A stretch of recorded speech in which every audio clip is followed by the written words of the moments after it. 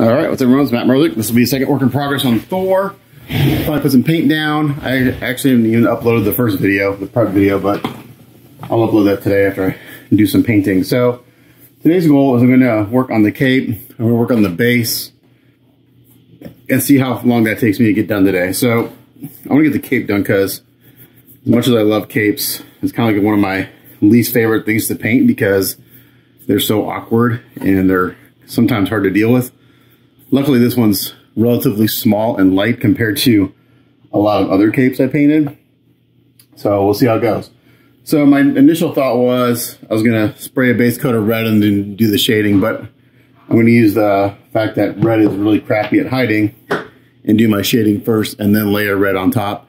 It'll just give me a better, a deeper, more uh, interesting look, I think.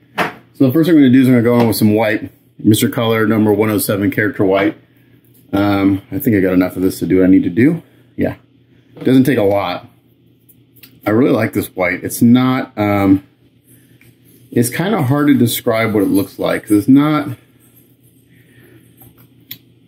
it's got a little, just a tiniest bit of gray to it. It's not like pure bright white. I really like it.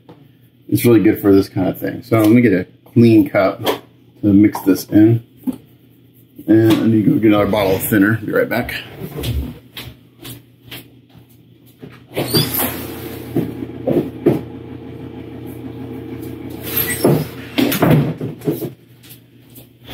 And we're gonna thin this pretty good. Let me get um, an air, make sure I have an airbrush that's actually clean. This one's needs some cleaning. I meant to clean my airbrushes last week. I never got around to doing it, so hopefully this will will work. I'm just gonna throw some microfilm in here and clean this out from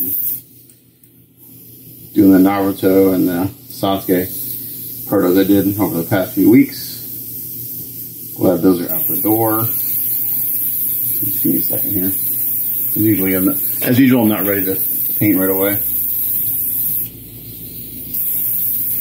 Okay my thought on the cape is do some highlighting in white, and then I'll go in and add some shadows with like a wine red. I really like wine red for shadows. Um, sometimes what I'll do is I'll do a base coat of red and then go in with like a deep clear red um, to add shadows. I kind of change it up. Kind of depends on what I'm in the mood for. Today I'm in the mood for doing all my shading and then laying on the color. Let me clear my workbench real quick a lot of stuff on here. I really need to spend a day cleaning the studio again, the spray booth. I gotta do that every, with the amount of painting I do. I used to do it like once every six months. Like a really good deep clean. I really need to do it like once a month now because when you paint as much as I do and other guys who paint full time, it's just messy. You get stuff everywhere. Okay, so back to this. We're gonna mix up some white. This needs some thinning. It's not thinned already. Sometimes I got paint that's already thin. And my thinning ratio, again, is just kind of, I'll probably over thin this a little bit, so atomize better. that while it's going. So I use Mr. Color. This is uh, the leveling thinner. You can use either leveling thinner or regular thinner. Um, the only time I really try to use leveling thinner is if I'm doing a gloss black and I need to get like super, super smooth. Um, it just slows down the drying and leveling characteristics of Mr. Color. Otherwise, I just use regular thinner and it's fine. Now I'm going to try to clean my paint stirrer off here a little bit because it's got a bunch of other colors on it.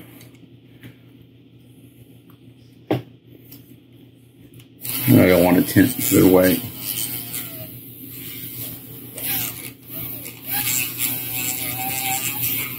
It's my little Badger paint stirrer. I love this thing. It's basically like a milk frother. You could probably use a milk frother if you had one. But um, these things are great. I love them. It's one of those little. There's a bunch of tools in modeling that are kind of like gimmicky. Um, like, yeah, you don't need that. This is kind of one of those gimmicky things that I really that I really like actually.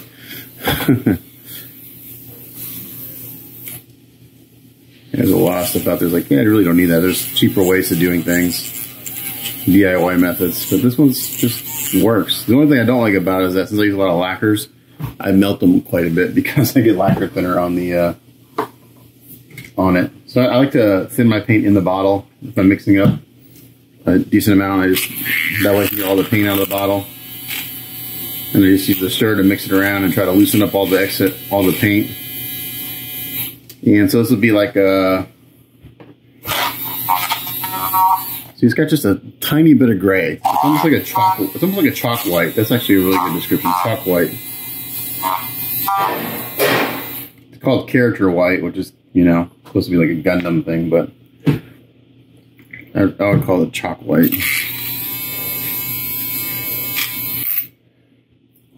Okay.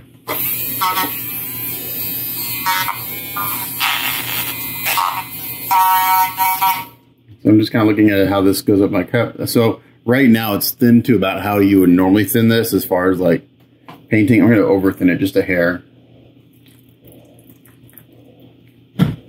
Just so it atomizes really good and I can get and do the fine wrinkles and stuff on the cape. There aren't a whole lot of fine wrinkles in this cape. It's really towards the neckline that they get kind of fine and tight. So I'm not too worried about it. All right. So I'll show some of this on camera and I'll do the rest off because this can take a little while. And then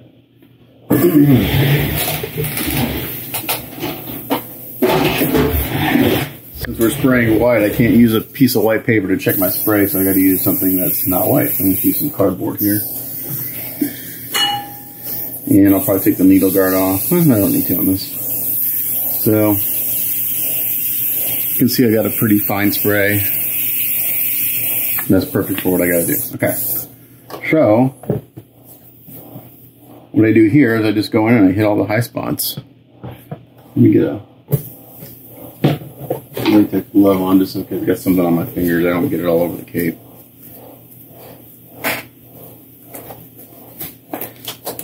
There we go. Okay.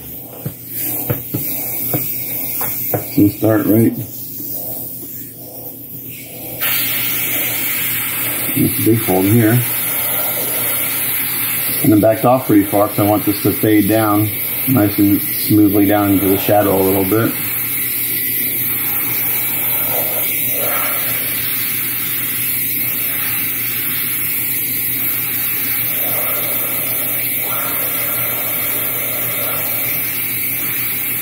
So anywhere it's got a bigger fold, I hit that a little bit harder.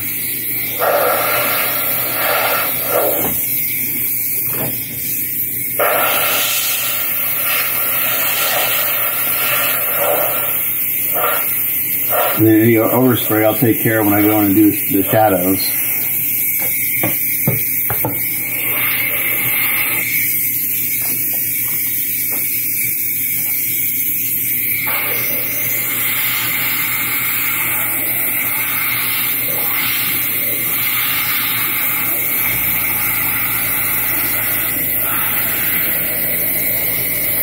try to keep it smooth. The hard part of these really long curves is to make sure you get a smooth, even um, look to it. It's real easy to kind of get like a dotted pattern if you're not smooth with your airbrushing. So we're basically dealing with thin layers of paint here and using the translucency to our advantage.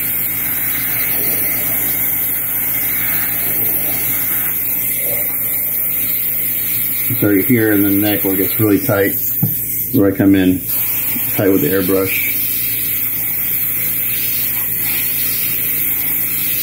And like I said, anything that kind of gets a little extra overspray, I'll just hit it a little harder with the shadow color.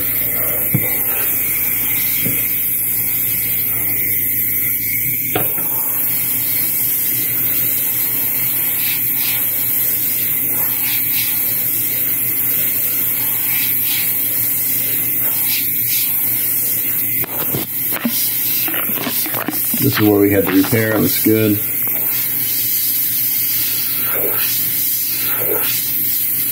When I have these little wrinkles, I just kind of do little wisps, little wisps, wisps of paint like this. And I'll do the same thing with the shadow color.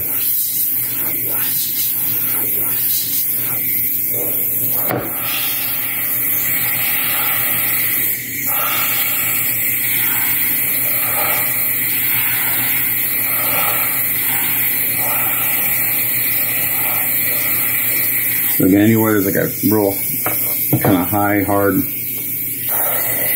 fold, we'll hit that a little bit harder.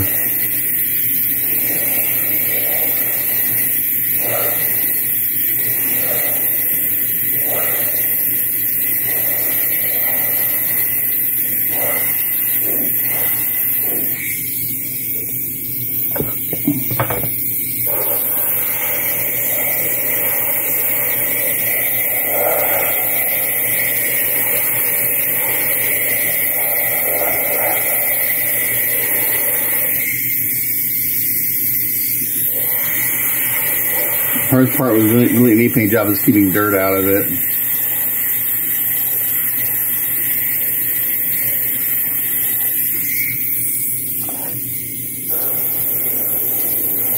It's a big fold right here, so I'm going to back off. It's nice and soft. And as it gets tighter, we get closer.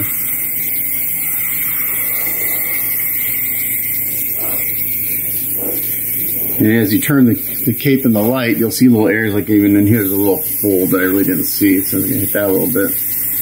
There's folds within the folds.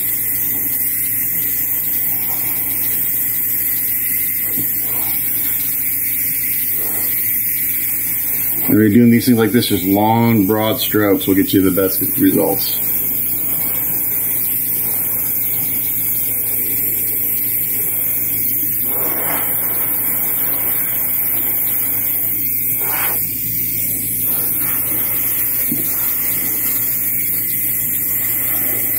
Luckily this cape doesn't weigh a ton. I can hold it with one hand and it doesn't tire my hand out too, too bad. That Valzad cape I did weighed a ton. It weighed so much. It was really hard to handle.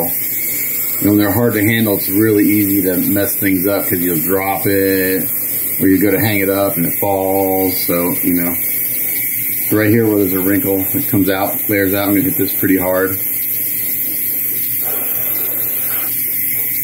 Same here.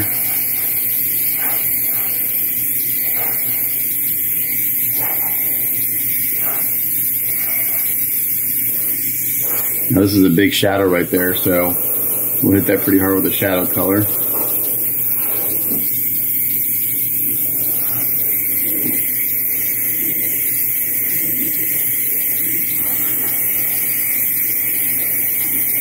My client gave me some references, but just uh, kind of do your thing, which I like because I do my best work then. I always tell people if you have a specific paint job you want in mind, done by a specific painter, you gotta call that painter.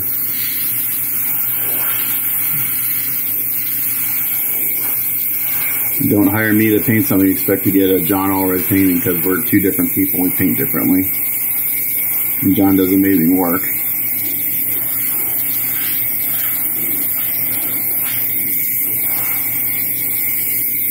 So there's a real big wrinkle here, so I'm just gonna back way off.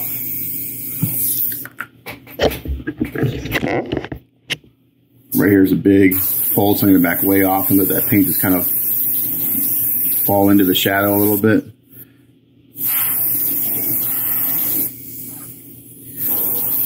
Kind of a big wrinkle right here.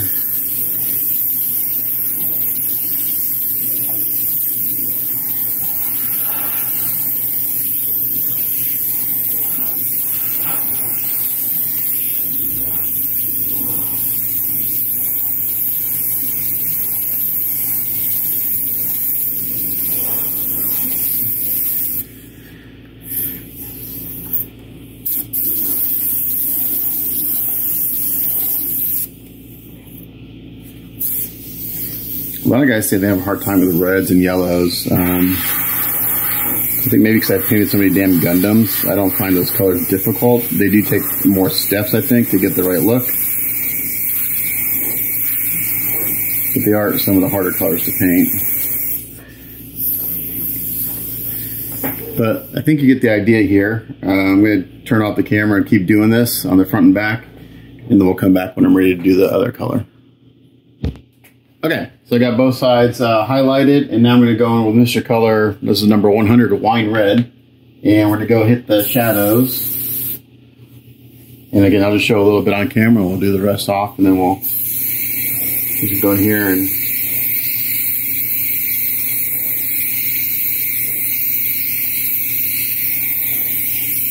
add a little darkness to the shadows.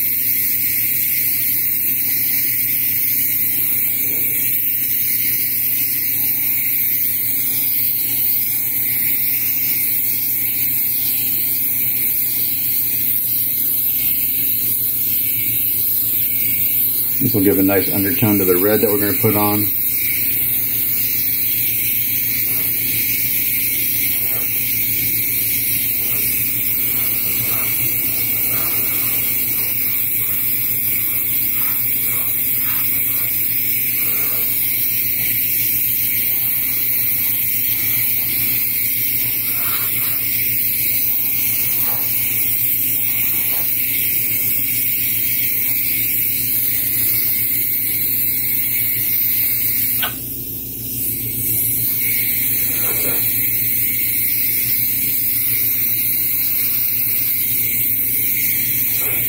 Being a little tighter with this.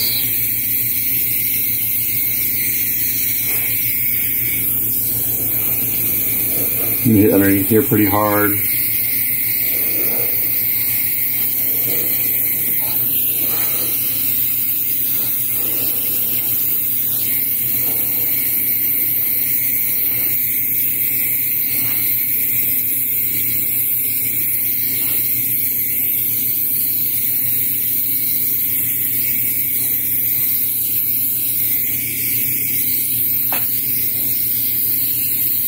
And depending on this fold, sometimes I'm pretty loose, sometimes a little more accurate, you know, pinpoint with it. With these big folds, I'm pretty loose with it.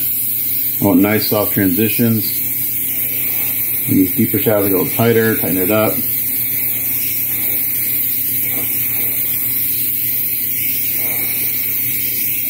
So right here's a big so I'm going to back off. You see this kind of weird modeling look? That's just kind of the overspray from the white. That'll all go away once we start laying on the base, the main color.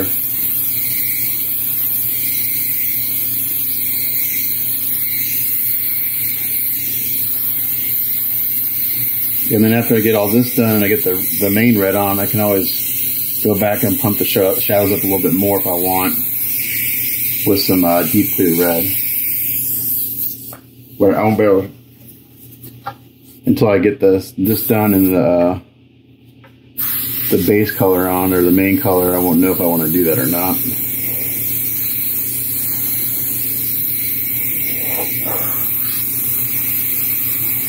It's also hard to get into some of these little crevices because the angles are weird. You just sometimes you just physically can't get paint areas the way things are molded and casted.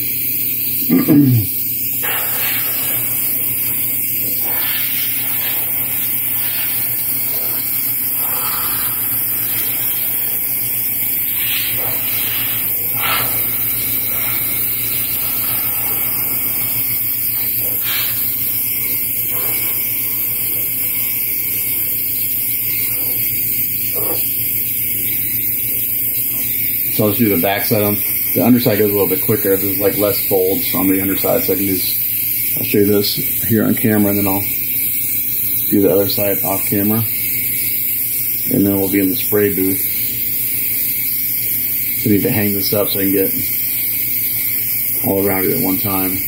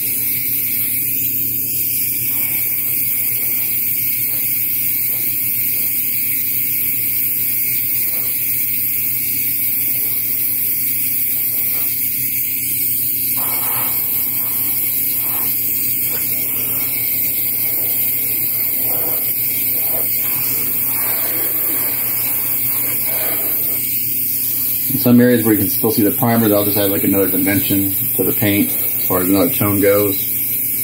So I'm not this 100%. I'm not being 100% opaque with either the white or this color.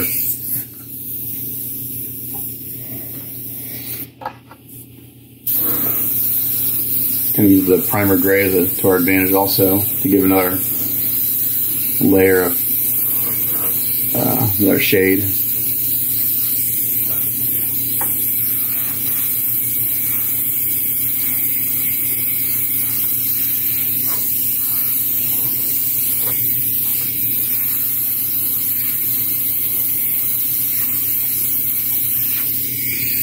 Okay. That's kind of what that looks like.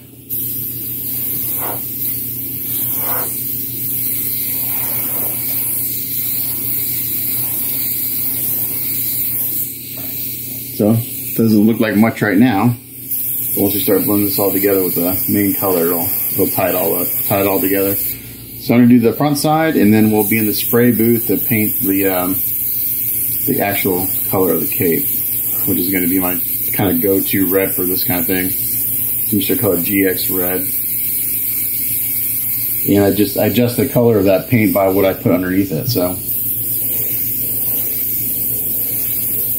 that's why I'm doing this before I put on the base coat. So uh, when we come back, she should be in the paint booth. Okay, so now in the spray booth, I have in my spray gun Mr. Color GX number three. It's called Herman Red. And uh, I've got it in my Iwata HPTH uh, trigger gun. So we're gonna go on, we're gonna start laying this in. I've got this thin two to one. And so I'm gonna put my mask on because it's gonna get really foggy in here and I'll just show you how I kind of mist this on and start blending things.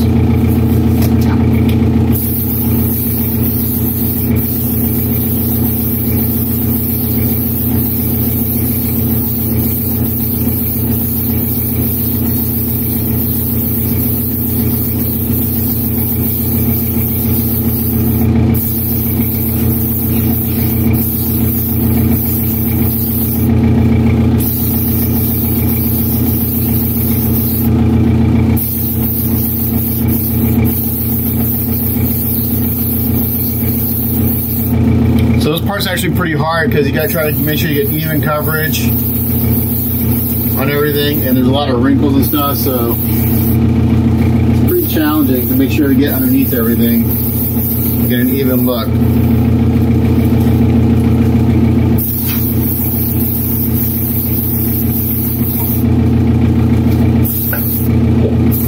And it's also easy to hit the cape with the gun, so I gotta be careful.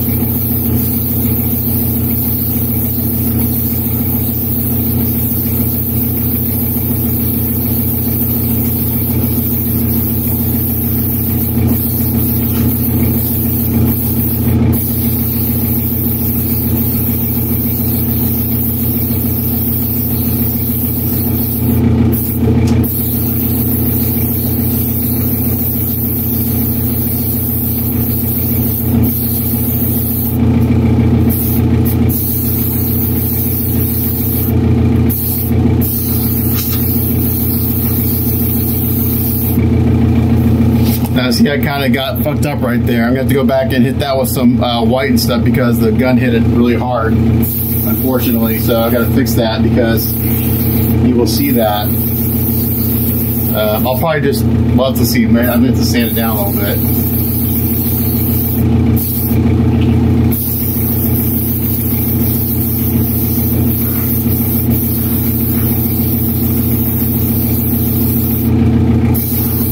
It's unfortunate I did that, but I always like to do the back side of the cape first, see how it's going, and then do the front side.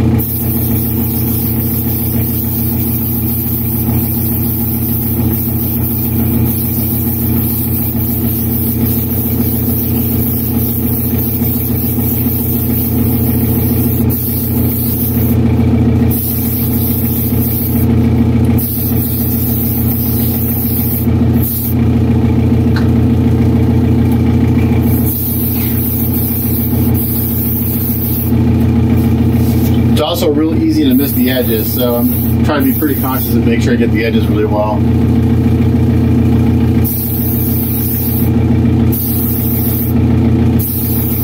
Okay. So that's the back side. I probably will go in after this dries and hit the shadows again with some deep clear red. I'm seeing the shading, but I, I think I could bring it down a little bit more. It's, actually kind of hard to see while it's still wet, but I've got to let this spot dry. I'm going to have to sand it down a little bit, unfortunately, and fix that. I could try to paint and see what it looks like. Let's see, just for the hell of it.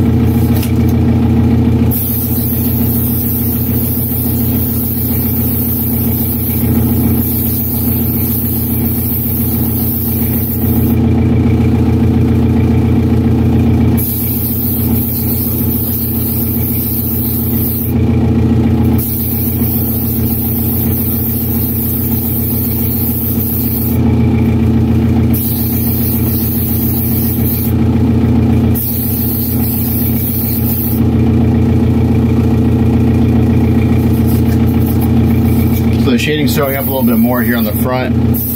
It's got more wrinkles, more detail.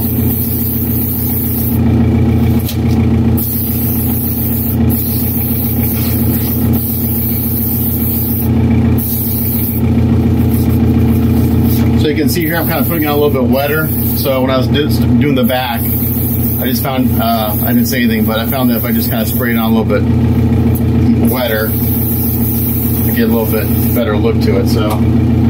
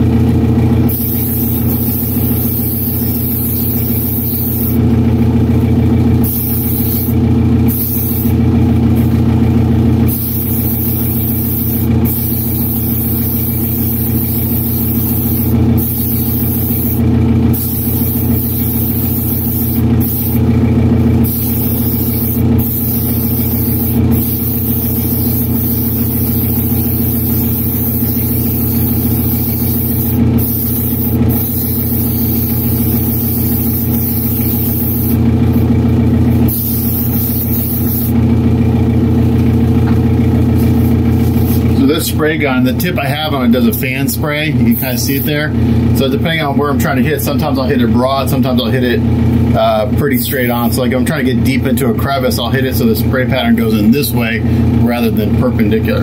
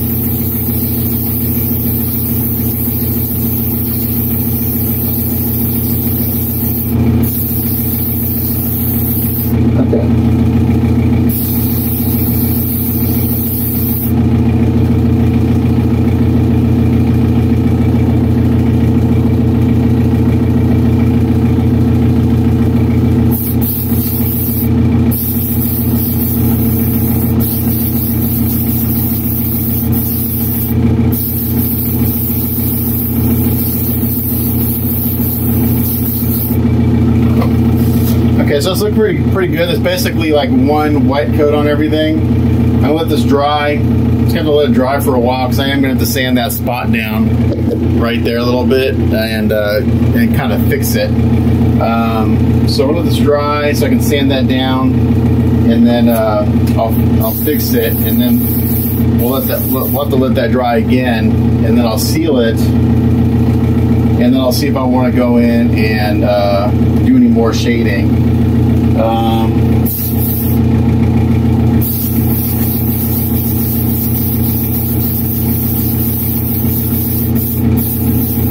it's actually looking pretty good, but I think I could dark. I could uh, add a little more contrast to it. We'll see. It's until I dry it down, seal it. I, it's hard to tell the shading. So uh, we're gonna let that go for a while. And while this dries, I'll work on the base. Okay, so the cape dries. I'm gonna work on the base. This will take me a few hours, and I'll be able to sand that spot down the cape and fix it. It's kind of a bummer it happened, but it happens. So I'm gonna kind of do what I normally do on bases. I'm gonna come in here with some acrylics, do some stippling, some washes, dry brushing. So the first color I have in here is uh, Liquitex Heavy uh, Body Acrylic. This is raw umber. I'm just gonna kind of do it uh, bare or raw. No, I'm not gonna thin it. I'm gonna come in here and just kind of stipple this on.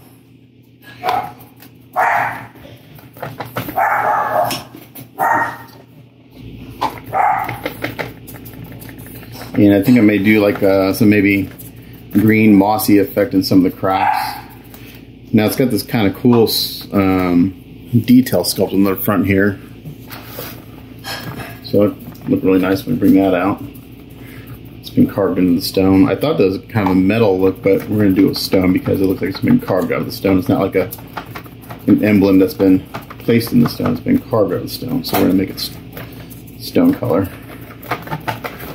All right, so I'm gonna do this raw umber, and then like uh, I'll come back when I'm done with this.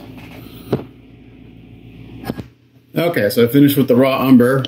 When I gave it a very light seal with the Krylon uh, Max Flat.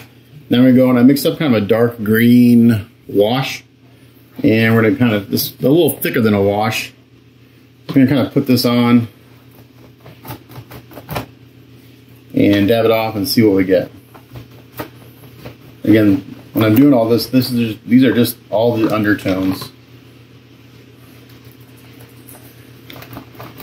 I just got a crappy old rag. Put some on, take it off. Just getting all the crevices and everything.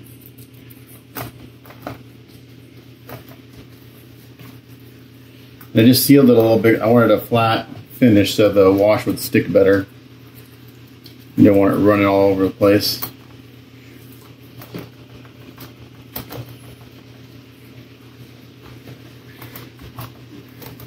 I kind of want this to kind of get down these cracks to kind of give it the sense of maybe some mosses kind of growing between the layers of rock. So hopefully my plan works where when I start dry brushing and adding highlights, this will still be there a little bit and it'll look kind of mossy. That's my thought process at least. We'll see if it works. It could be a complete failure. Never know.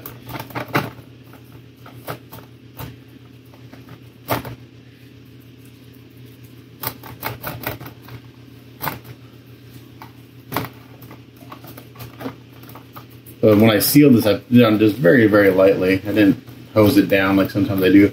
When I do like a final seal, I'll really give a really good layer, good coat or two of sealer. But when I'm doing something like this, it's just super light, just enough to knock the sheen down from the previous paint and give this paint some tooth to uh, stick to. So when you do a wash or anything like that, you don't want a you don't want a semi-gloss or a gloss finish. It'll just run everywhere. It won't stain or stick. And a wash is basically just something you use for staining and getting in crevices and details. So you want it to stick.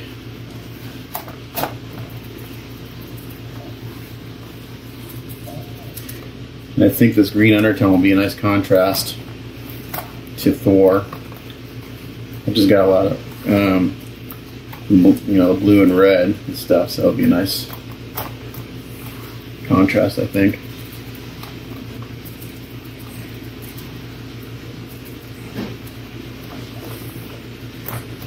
Again, when I do these first, you know, 10 steps these are just all the undertones.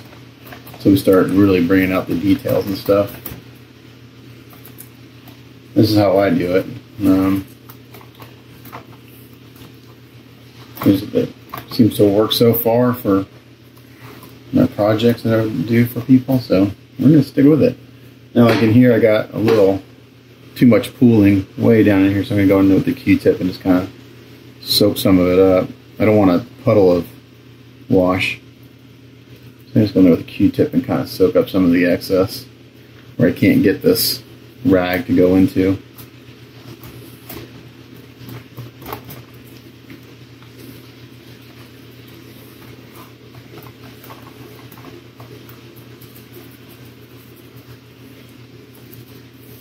So I think you get the idea. I'm gonna get that going. I'm gonna come back. I'll do the next step. Okay, so hit that wash with a hair dryer. I went in and sealed it again. Now I'm gonna mix, mix up my kind of my first kind of uh, dry brush color. I'm gonna put a little neutral gray and this uh, Titan green, pale green. So we're kind of going with a, a green undertone on these rocks. I think it's kind of my my thought process, and then we can warm them up a little bit by misting on some uh, other washes and stuff. So again, I just get kind of a crappy brush. Uh, let's see, I have a bigger one. I have a bigger brush in here.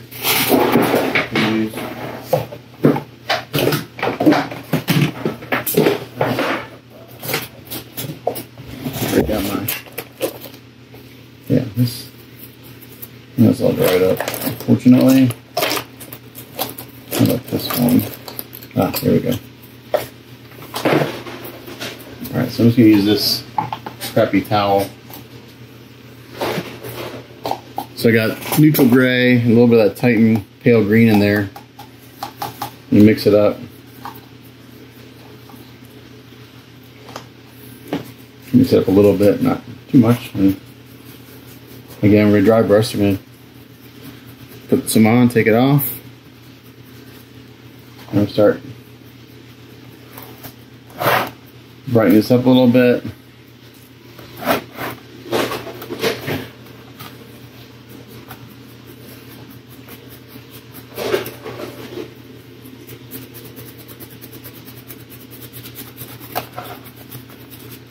Initially it's going to look a little bright and it'll dry down.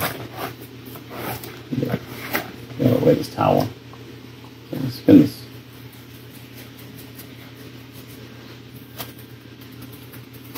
So when I first do a dry brush, I kind of do an overall.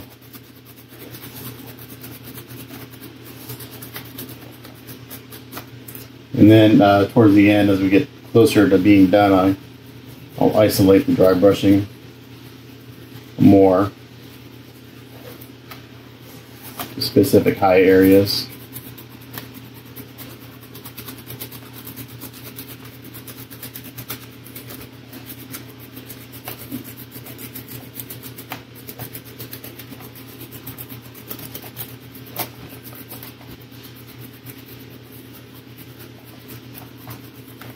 You can see right now I'm not being real careful.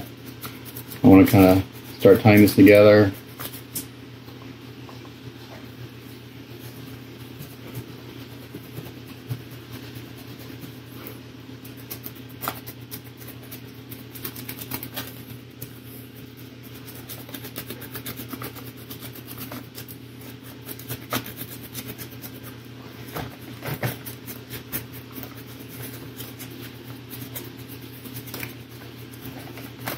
Kind of even rubbing it on a little bit, circular motions.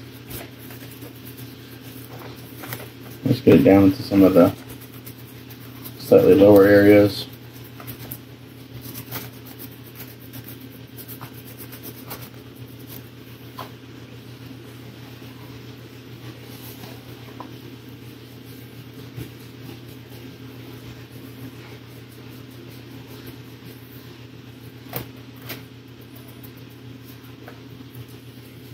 get my paint off.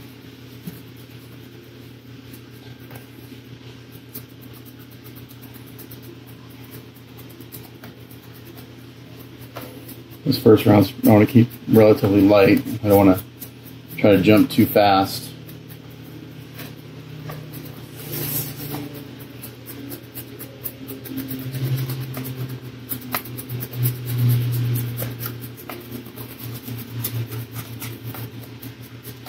And bring up the tones gradually. And the more you go over there, spot, the brighter it gets.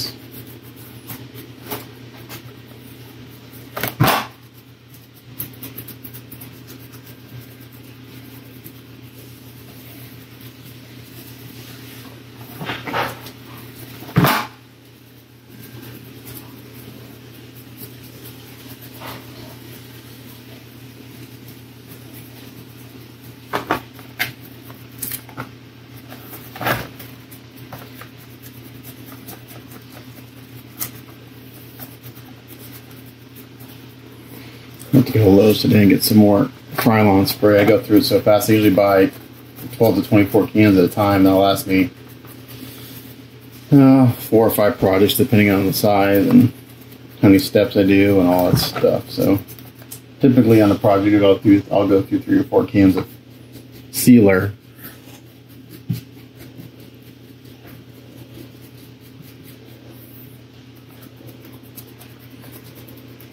Didn't want to go just straight neutral gray. I wanted some tone to it, so that's why I had a little bit of that pale green to it.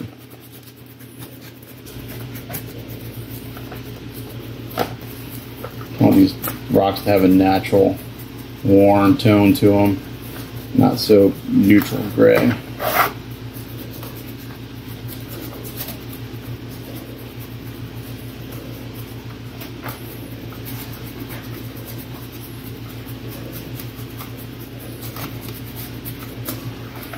Okay, so this is a pretty good start to this. It's pretty flat right now, but we're gonna add some more contrast and stuff as we start airbrushing on some of the Vallejo washes, which I like to do.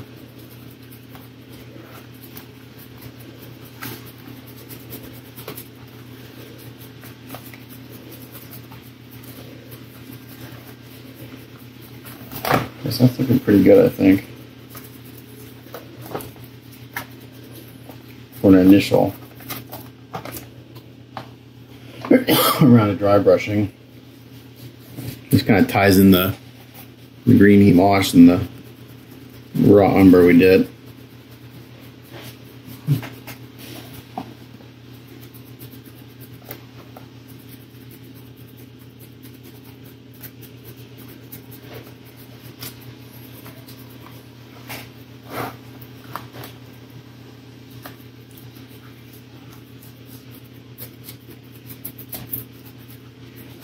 Okay, that's looking pretty good. So now we're going to do, we're going to add some more tonal variation to this. We're going to get airbrush. It's been cleaned. And I like to airbrush on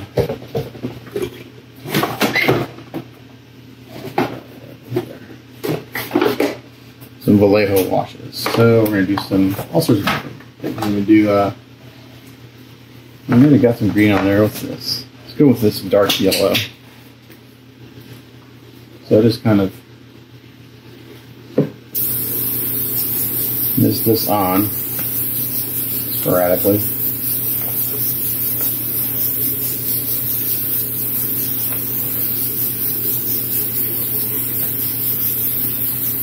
This is going to give some another tonality to everything.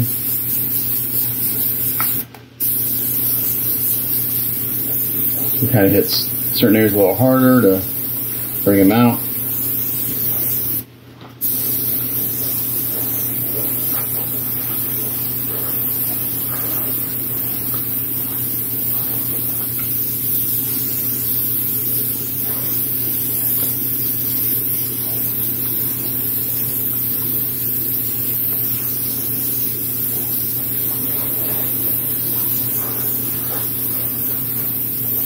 Really like this dark yellow wash for doing stonework.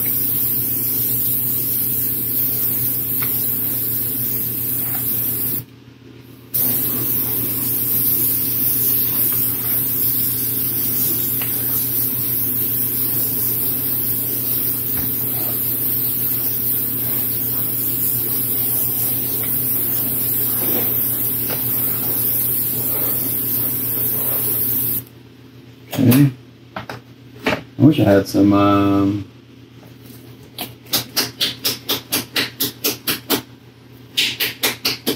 this is, this is blue gray. I'm not sure is, we're going to do what I wanted to do. Let's see. Let's maybe add a little coolness to some areas. I really want to kind of bring out this uh, carving. Maybe I'll hit that a little bit more with this cool gray.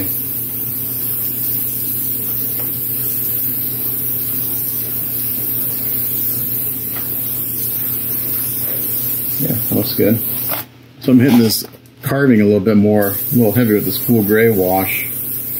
It gives it a nice effect, kind of makes it stand out a little bit more.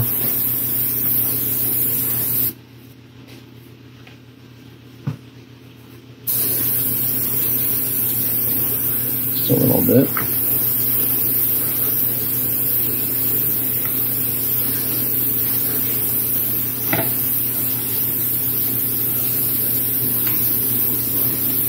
We want this really random.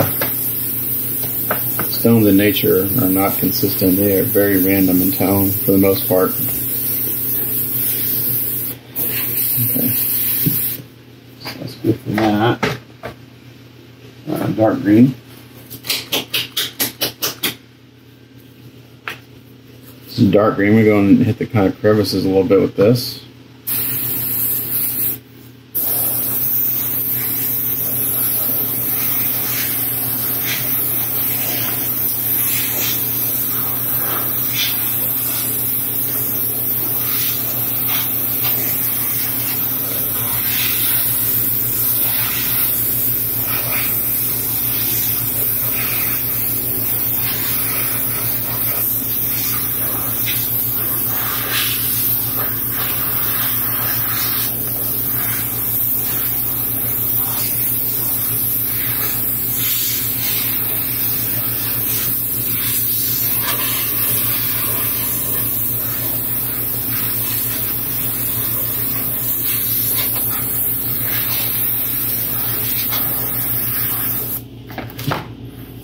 Adding a little kind of dimension to the shadows. Like this. This, stuff is very thin. You have to put, you just can't hose it on. You gotta, it's basically like spraying water. I could have done the wash uh, with this, but I know, I kind of wanted a slightly different tone.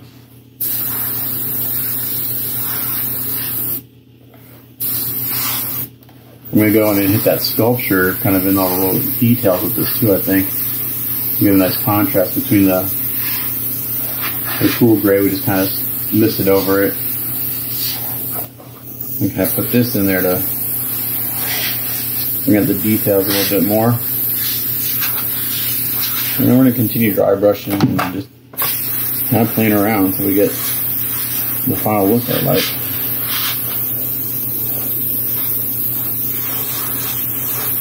A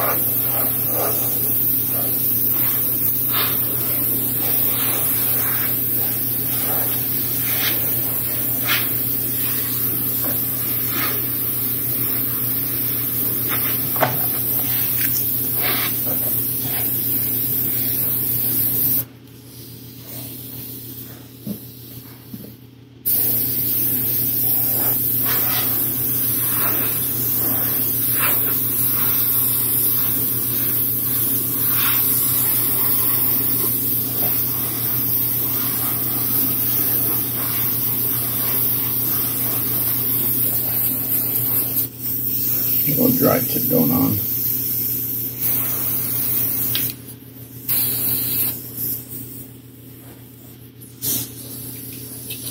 Probably nothing came out.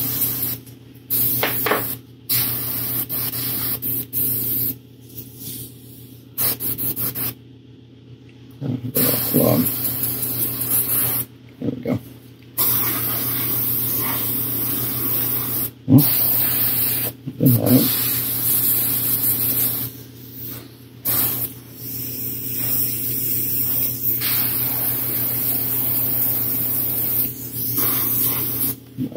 Brush is clogging up here a little bit.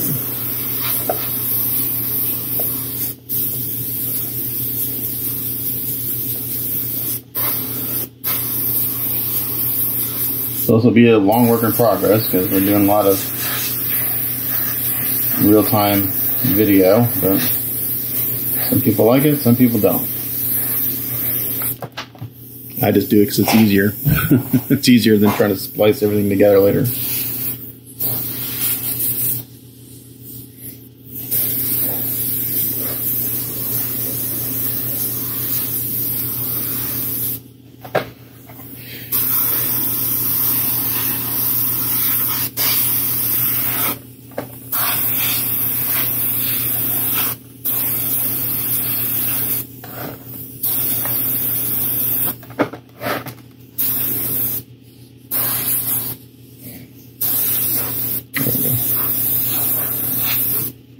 Hose it on there. Just said don't hose it on. I just hose it on.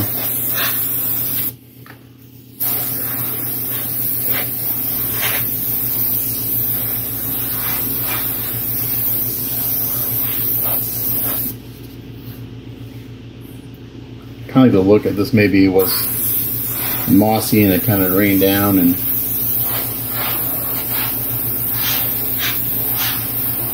created moss and all these little cracks coming down.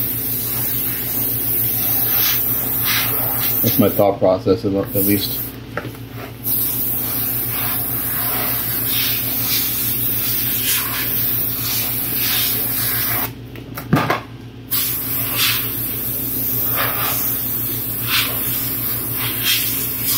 So I'm kind of following these cracks,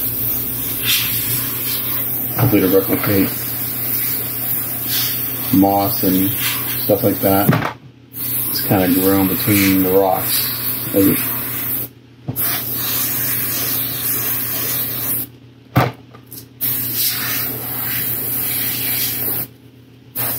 man, stop fogging. I'm gonna come in here and hit this sculpture a little bit.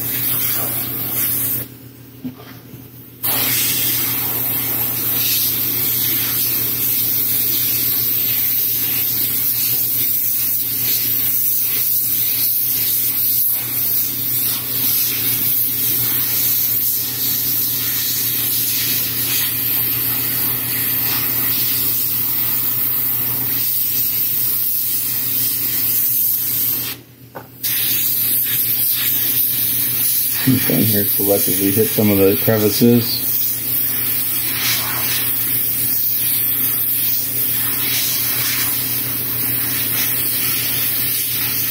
Not sure you can see anything. My hand's probably in the way.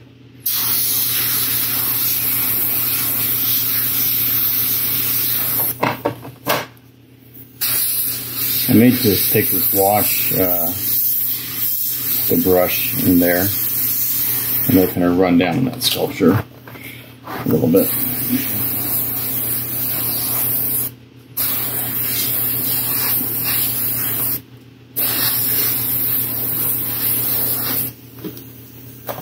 trying to kind of make see like it's been kind of rained on and the moss has grown.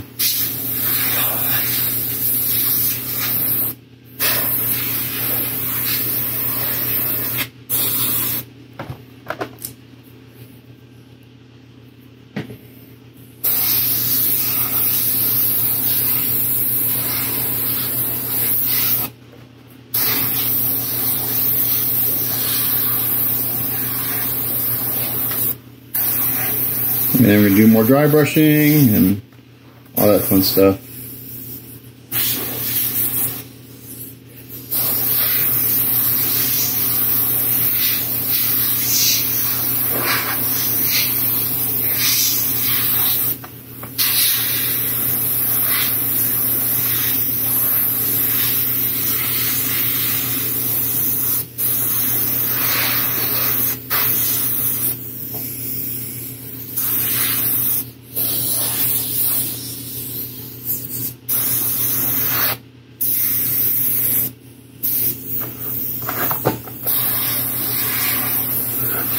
going a little heavy with this right now because I know I'm going to bring it up when I start doing my dry brushing. So I'm going to go a little heavy and then, you know, kind of bring it back.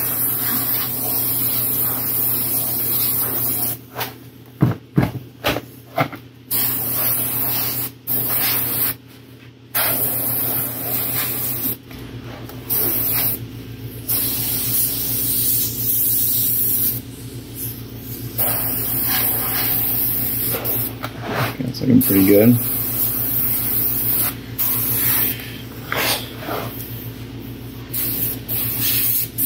Let's airbrush out. We something clogging there.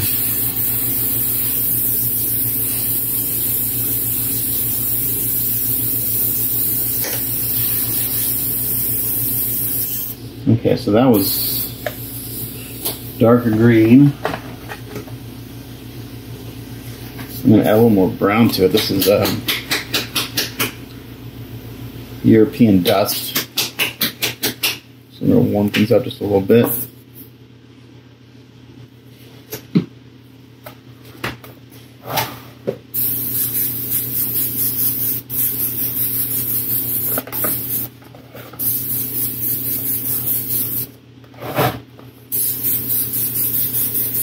This is a pretty subtle color.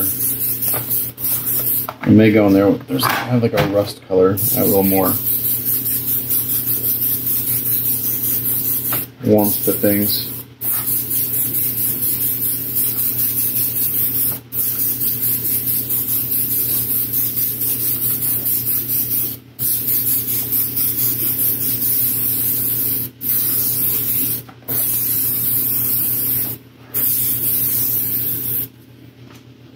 Uh, some dark rust.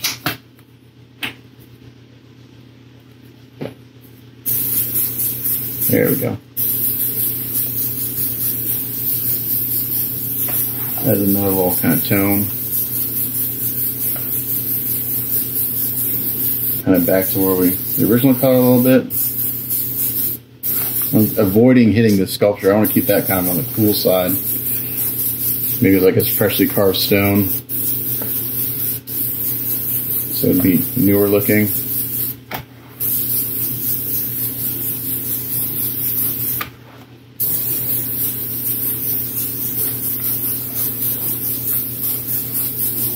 Okay, I think after this, we're going to go back to dry brushing.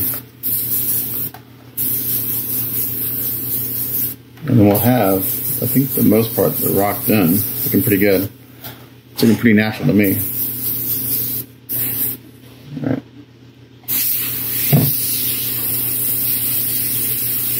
Let's clean this out.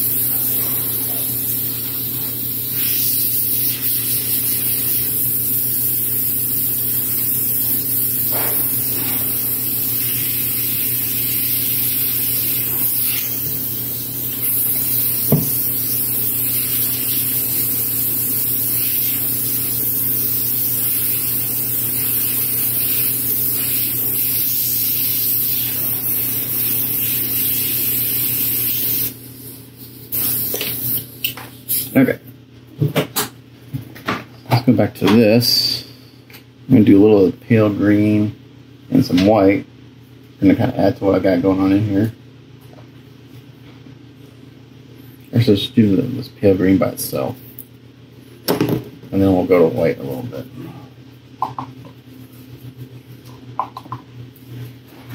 Okay, I'm gonna be a little more selective with my dry brushing.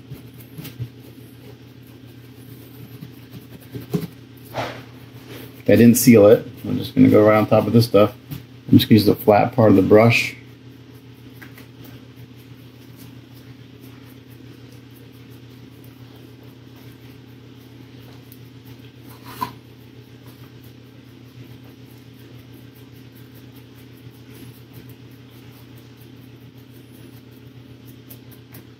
I'm just going to hit the tops of stuff.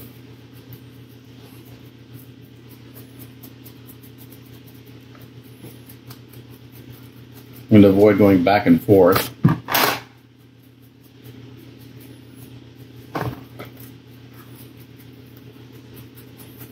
I'm gonna hit this part pretty tough, right where he's standing on the top part. And I think I'm just gonna hit the sculpture, the carved part with some white and avoid this green tone. I think I may I'll do one more step probably with some pastels to really kind of get in some of the shadows. And we should be pretty dang close. Basically this takes usually takes me, you know, three or four hours. Which is, you know, half a day. Sometimes a little bit longer, depending on how things are going.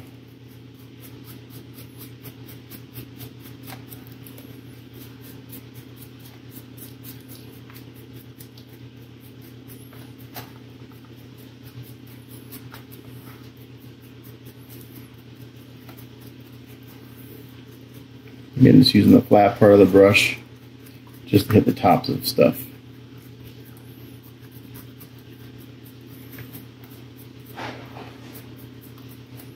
Going top down.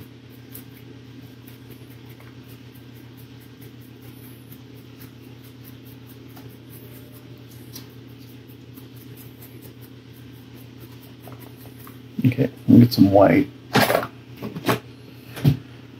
Let's use this.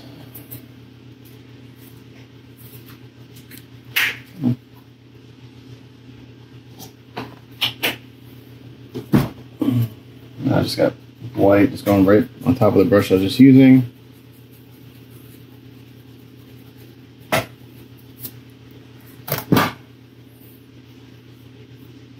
Just lightly hit this carving.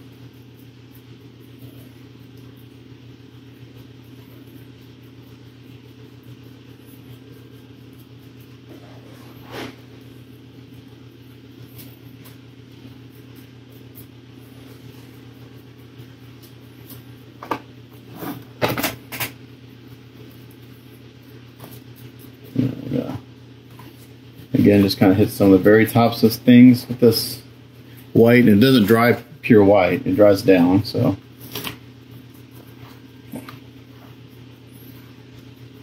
I was doing some uh, licensed pieces, they're like, don't use pure white. Like, it doesn't dry pure white, it dries down. the way I do things.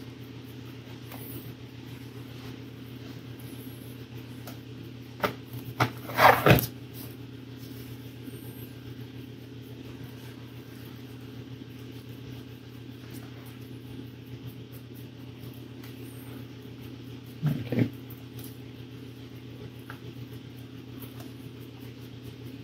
I'll do some pastel work in the shadows. Because even though I see some nice shapes and stuff, I think it bump up the contrast a little bit more. And pastels is the way to do that.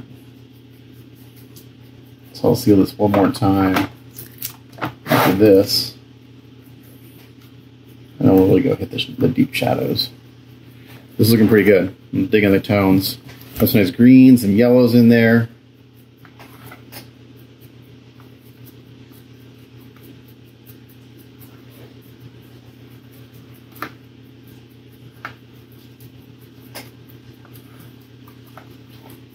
Okay. I keep saying I'm done. I keep going. All right, I'm gonna go seal this and then we'll come back. Okay, went and sealed that again, and then we're going with some pastels. And I actually need to order some of these, so I'm getting low on my base. I have a crap load of pastels, but I basically use like two or three colors. Um, I got metal slag. This is a uh, graveyard dirt, and I typically use a lot of uh, rocket exhaust. This is a great. It's basically black. So let's start off with the metal slag. It's got a little brown to it. See what this does. I don't want to cover up the uh, the green I did earlier, but I do want to bump up these shadows a little bit. And these are really, I mean, these are nice. They get everywhere. So I'm, I'm actually really kind of, I'm real loose with these. I'm not like super neat with them. I just want to bring these shadows up a little bit more. And if I put it on just right, be able to see the, the green wash underneath.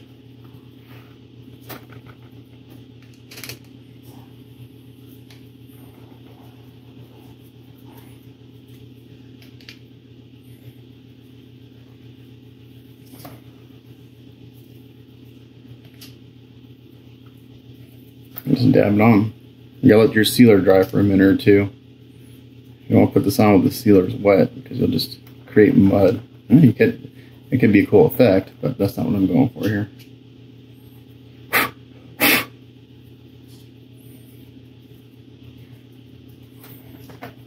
Just darkening the shadows, good, adding some more shape to everything.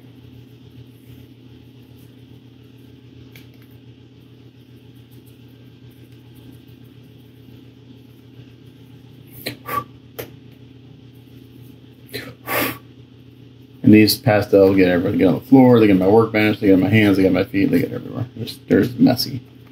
But I do like them.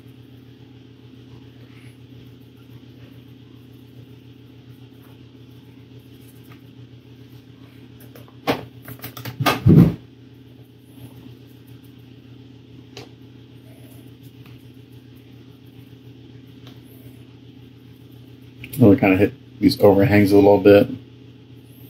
Pretty hard. Gonna be a shadow there.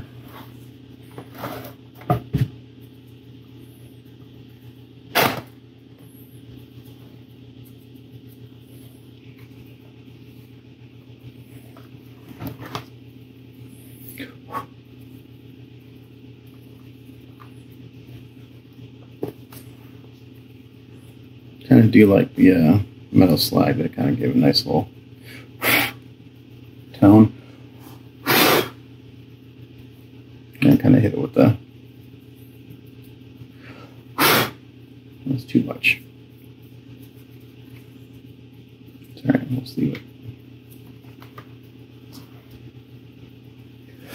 Got a little too much over here.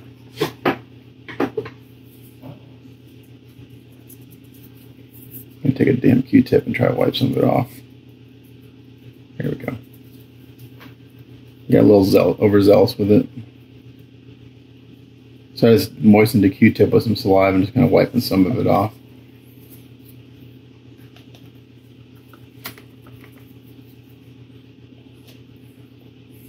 Got this makeup brush. This is my favorite brush. Usually I'll use this tip for applying and then the softer side for kind of smoothing it out. This is like my go-to weathering pastel brush for this kind of thing.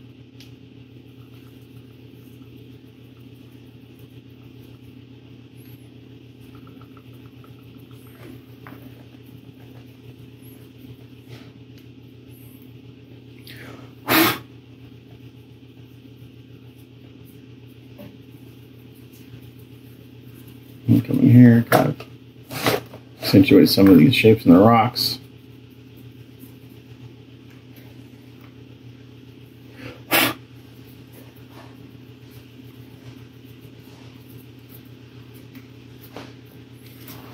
It's looking pretty good. Okay, now let's see what happens.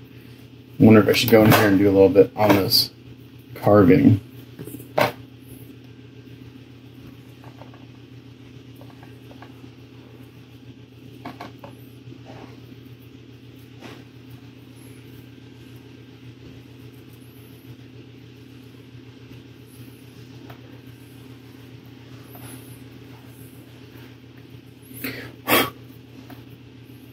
I don't want to do too much. Looks pretty good.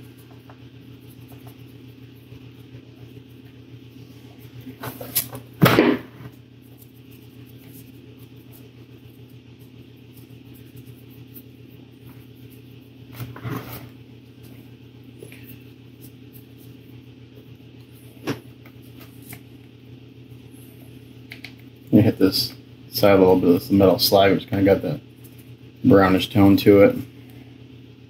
Do it on the other side. We're going to do it here too.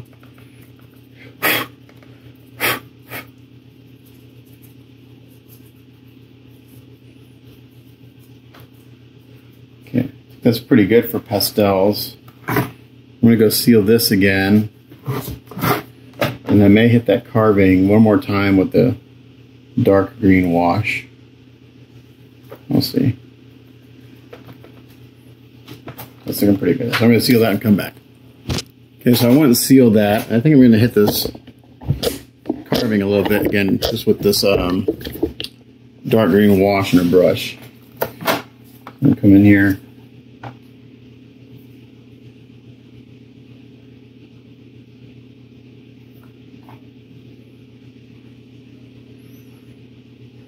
Let's see what happens. This could be a disaster.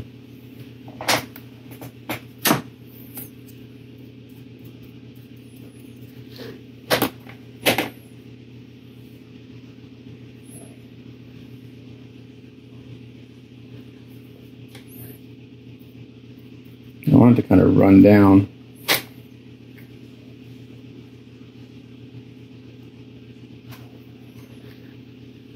in the carving.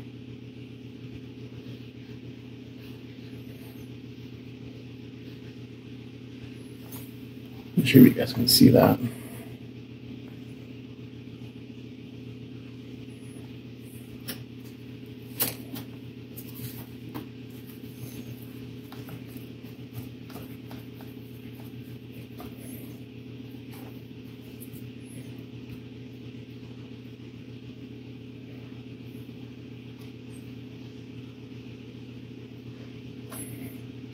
To dry brush this a little bit more.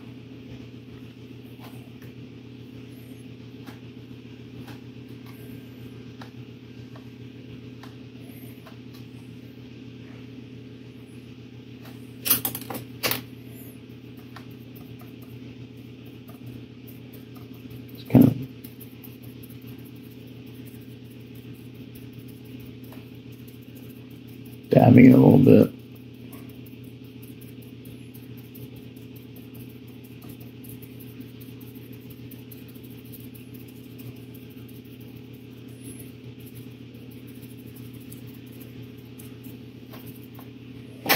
Okay, Brushing this a little bit since I kind of turned the whole thing green now, but no big deal. Another layer tone.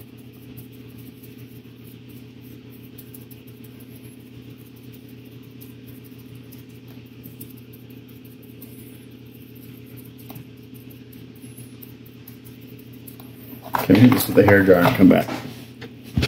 Okay, so I just I'm just going through real quick and doing one more last little bit of dry brushing, really really light, and then I think once I seal this, this will be good. Kind of want to bring up a couple areas a little bit brighter, mainly here towards the top where he's standing, and I hit that sculpture a little or the carving a little bit. So that looks pretty good, I think.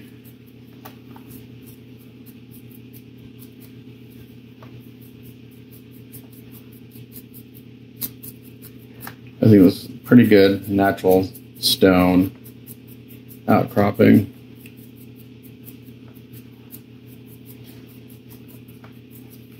I'm saying this really, really light which is some white. And then we'll send a picture to my client and see what he says. Hopefully he likes it. I think it looks pretty good and Thor will stand out very nicely against this darker color and tone. I think it'll look good. Alrighty. I'm going to seal that, send a picture, and hopefully he likes it. Okay, so I kind of went over the cape that one spot again, blended it in, and now I'm going to let it dry for a while, and I'm going to go back and hit the shadows with some deep clear red after the cape's dry for a while. I'm going to add a little more contrast. So while I'm waiting for that to dry, I'm waiting to hear back from my client on the base. I'm going to start on the blue of the legs because I need to get this sprayed and let that dry overnight so I can mask it off and do the black and then do the metallics and stuff on. Um, all that stuff. Let's see, he just replied and he says he likes it. So the base is good to go. All right, so moving on to the blue. So I'm gonna do this similar to how I did the red. I'm gonna kind of use this gray as my base and I'm gonna go in and do, I'm gonna add shadows and then spray blue on top of that. So for that, I need, um, so I'm black. I'm to do black. Let's see. Come on.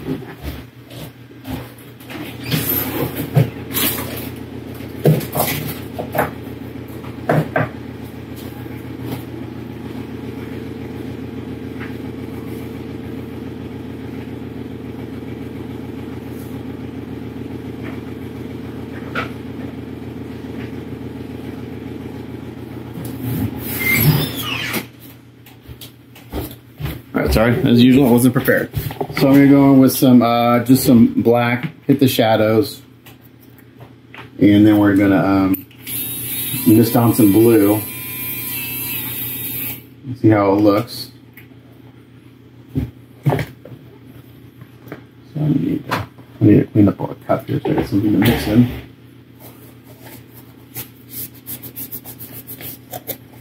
Actually, I got a little shot glass I can use. I'm not gonna need a lot of black. Not a whole lot of blue on this thing, just the just the legs.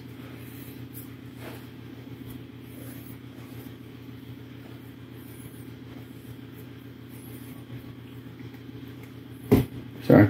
As usual, I'm not ready. So you guys get to watch me kind of clean up to get ready.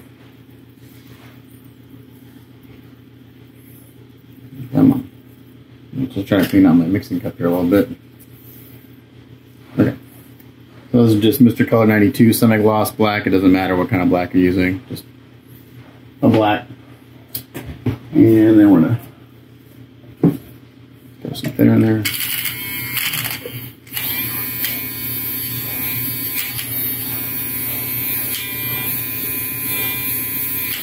Just like that. Get Your brush going.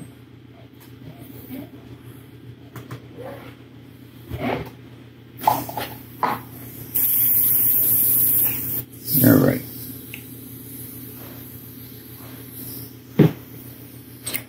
So we're gonna hit the shadows and stuff.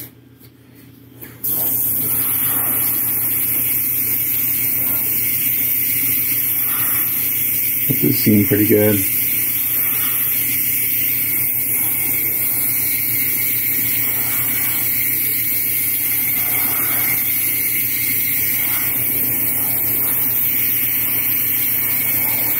This part of the boot meets the leg pretty good.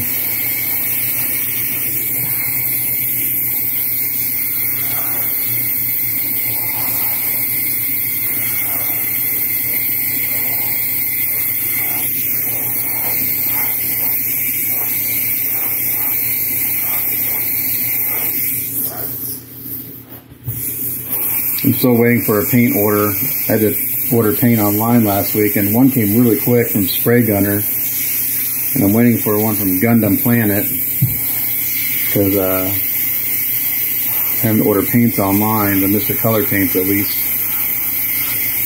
My local hobby town usually carries them, but they're having a hard time getting the colors I use a lot. This is similar to the cape, but it's going to kind of come in here and out the muscle detail. And there's a few little wrinkles here, so we're going to hit those a little bit harder.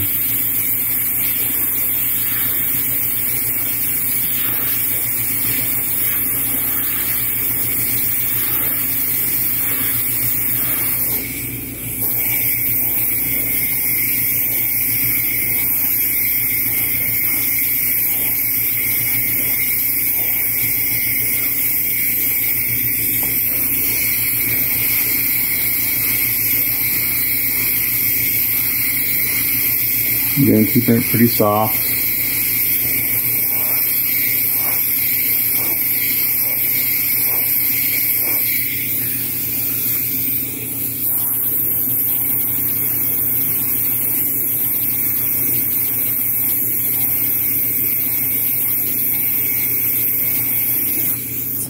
A lot of guys say don't ever shave a black or white. I do it all the time. Maybe do it correctly, it works just fine.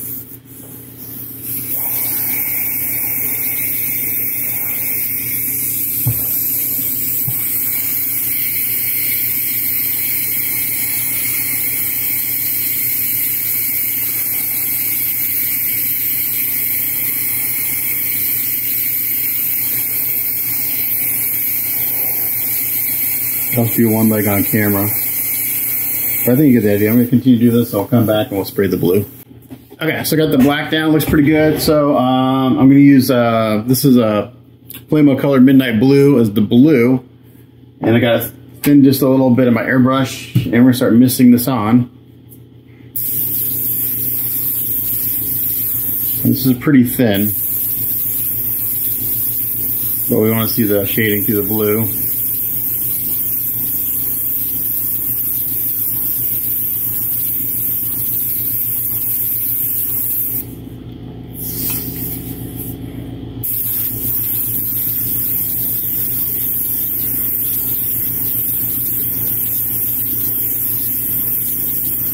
We did this in the booth probably.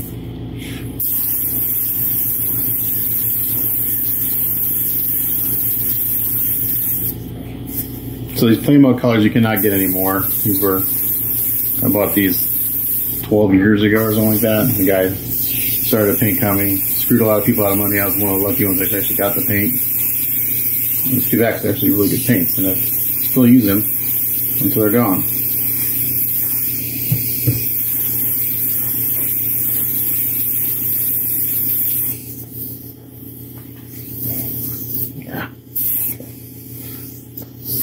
This is a hard piece to handle. It's really heavy. I kind of wish they would have casted the legs separate, just for ease of handling, because it's heavy.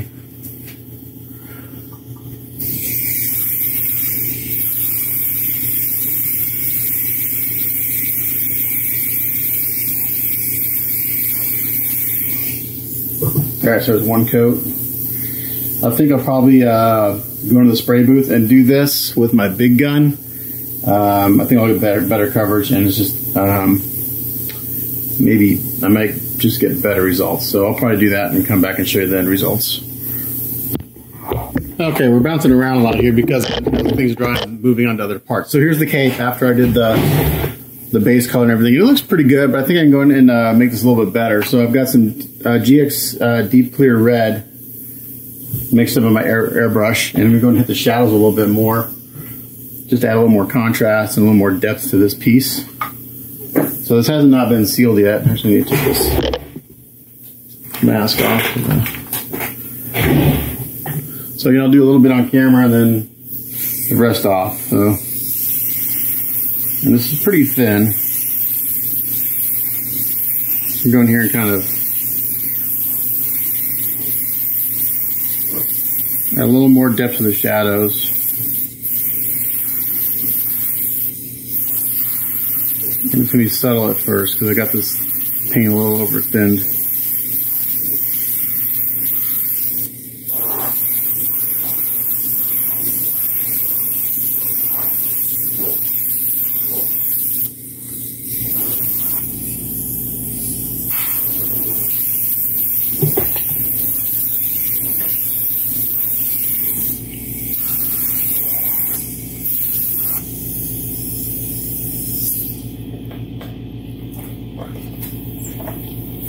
There you go. Piece of trash or something there. Let's see.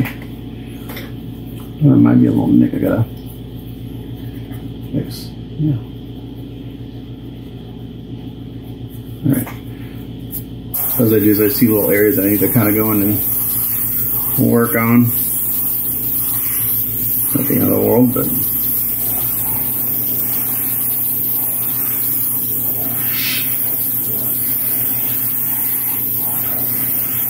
I was a little over thin. Maybe we can go back and add a little more paint to it.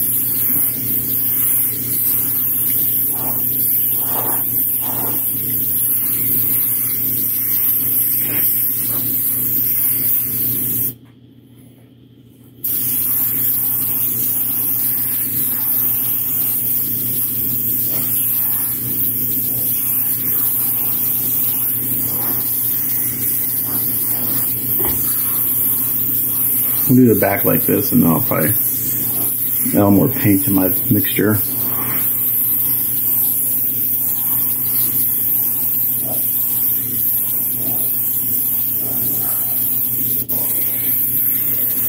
Getting pretty loose with this.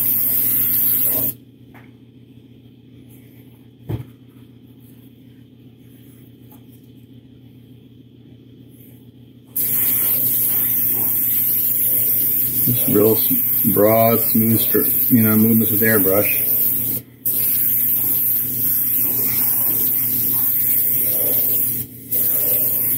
Yeah, I'm gonna add a little more paint to this. I'm taking a little more effort to get the look I want. That's not the right color. That'd have been bad. Uh, where's? Here it is.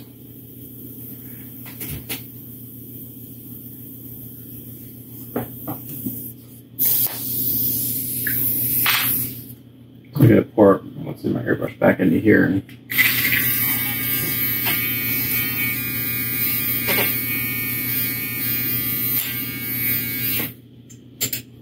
a little bit more in there.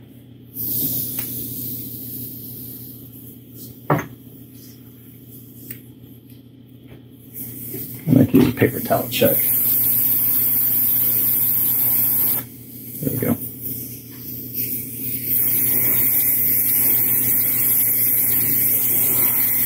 Try to overthin a little bit just because it atomizes better and I get a better, like a smoother blend, but sometimes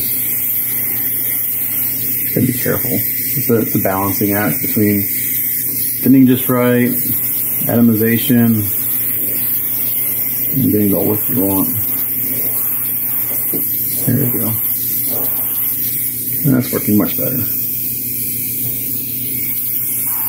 I always do the back as an experiment first because that's the part you really don't see as much. So just good place to start you're doing something like this.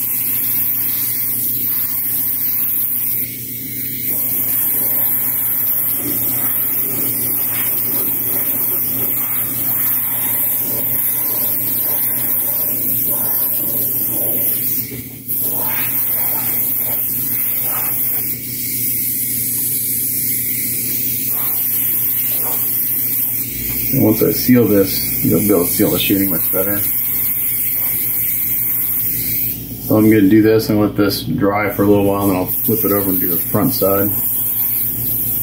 And then I'll seal it. See how it looks. I see a couple of spots where I got some trash in there. I'm going to try to fix.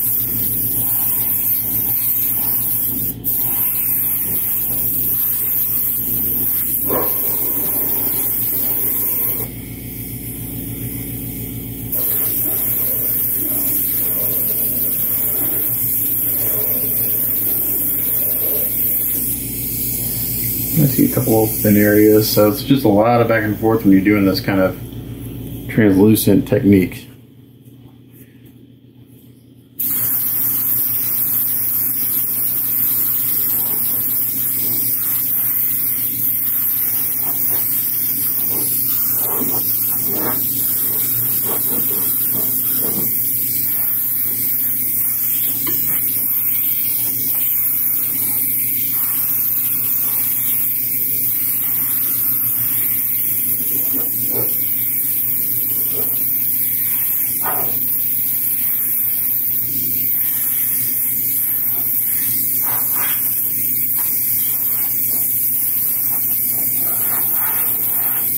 I'm gonna keep doing this, and then when I seal it, we'll come back and take a look at it.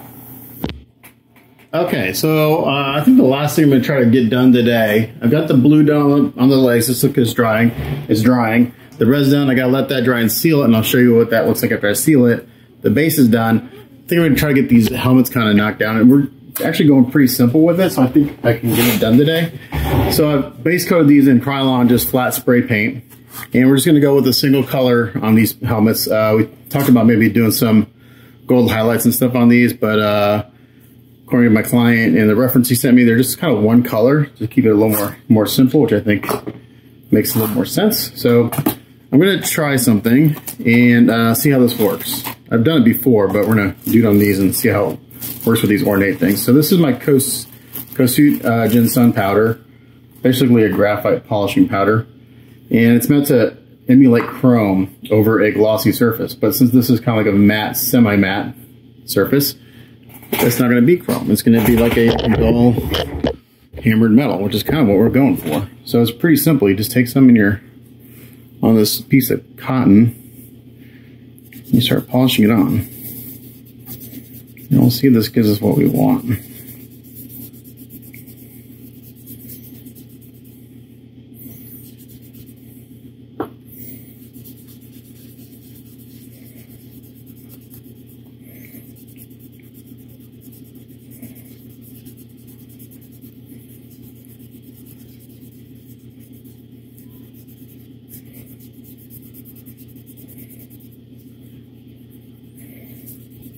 So in this guy, I may actually go back and do this a little shinier, but I think this is going to do what I want on the other helmets. I think.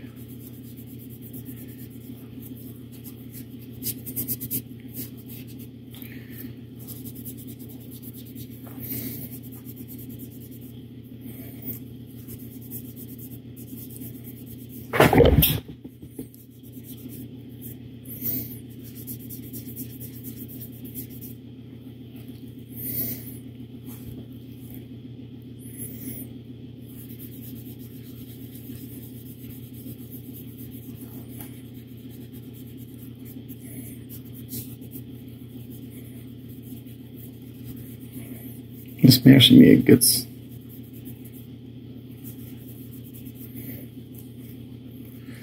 Let's see.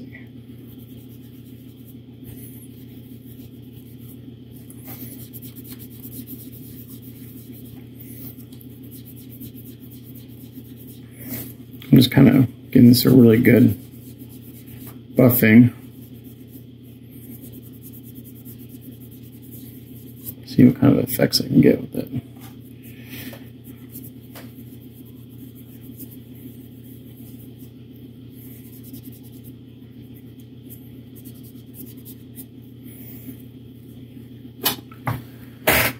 Some better cotton here, maybe. Not quite as used. This is from Wave. I bought this stuff years and years and years ago.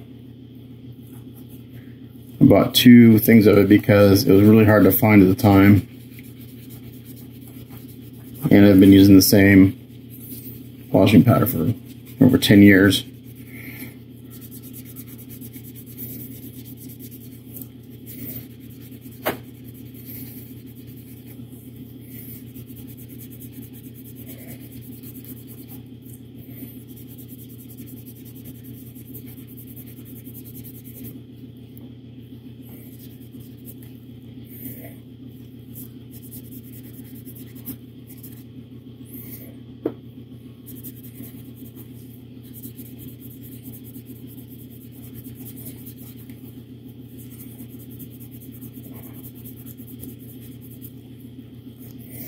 This actually looks pretty good.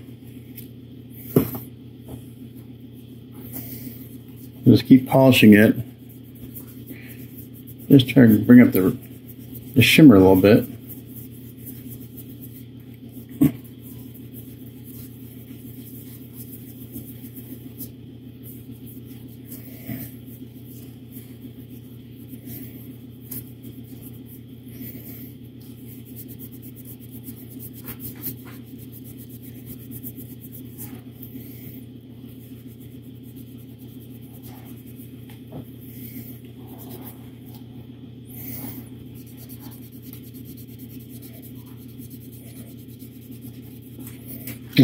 90s use over a gloss surface, but I like to use it over a semi-gloss or a matte finish sometimes. You kind of get a nice effect.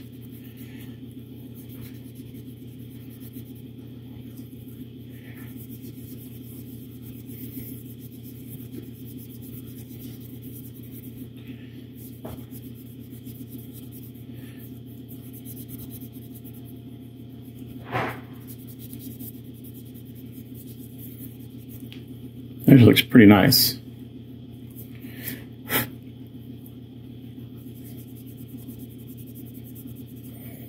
I'm digging it.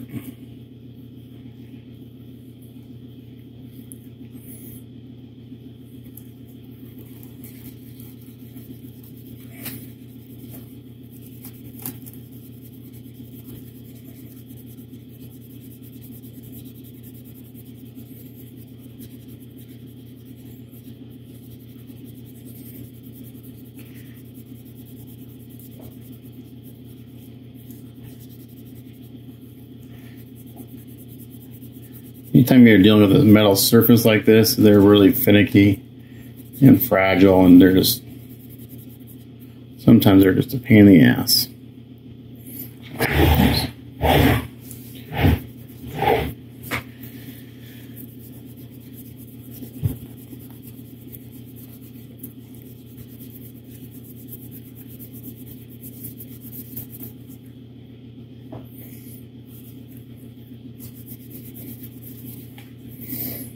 It looks pretty good. So it's not super bright chrome. It's like a polished metal. It's kind of what we are going for.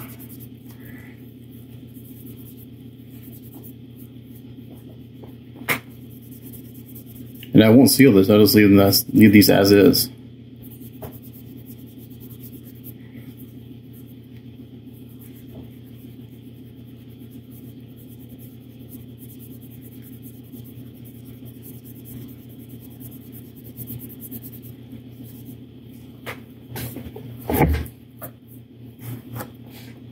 Take this on my shirt a little bit.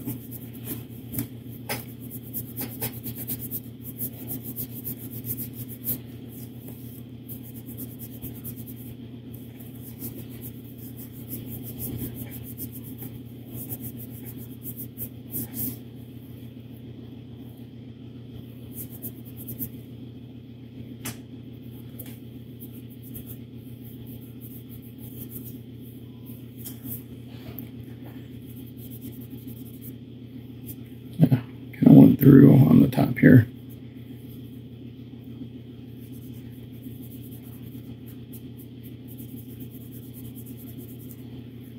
All right, I'm gonna try one of the other helmets, see how it looks.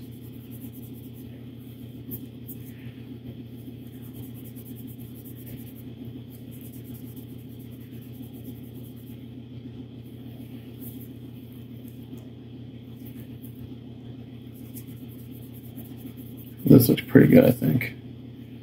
So let's try that on one of these other helmets. It's got all this detail in it.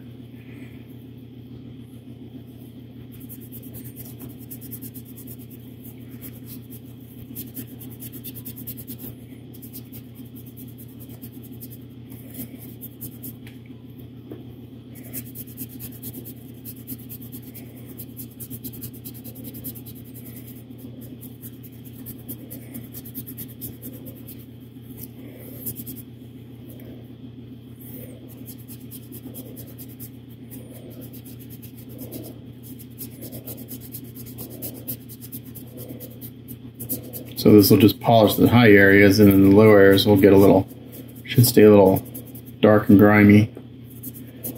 Kind of like dry brushing.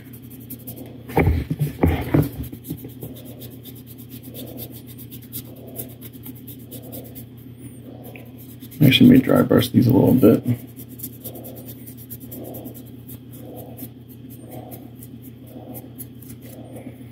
So if you ever seal these, you need to seal with an, uh, an acrylic.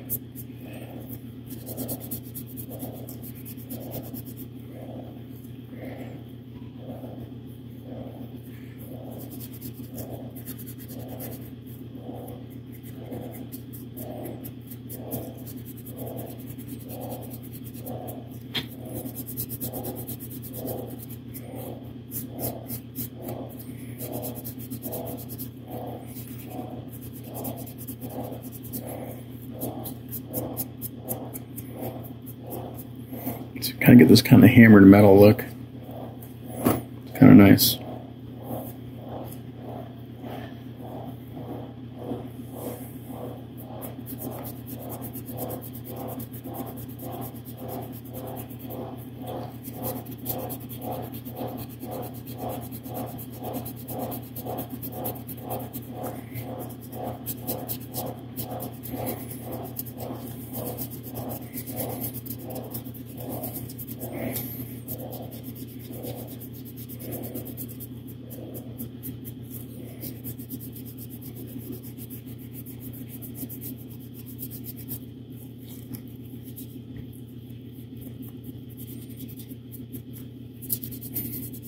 All right.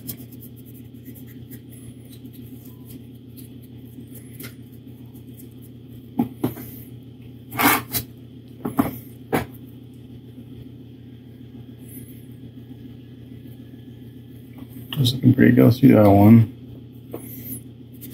This will be a slightly different technique, I think, because I want to bring out the details a little more. So I'm going to go ahead and polish these with this. I think I'll make dry brush a little Vallejo silver on top. See how that does, and then I may do a light wash in all the details.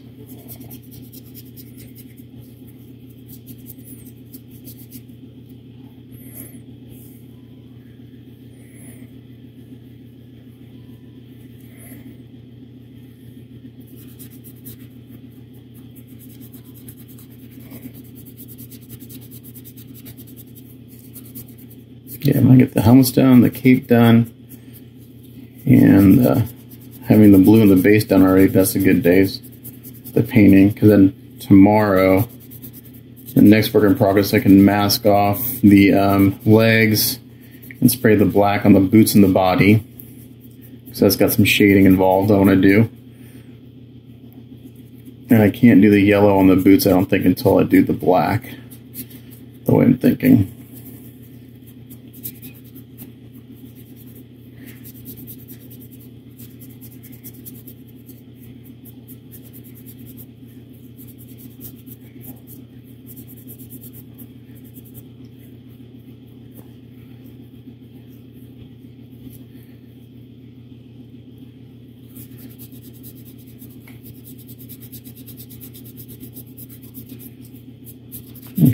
Is looking pretty good.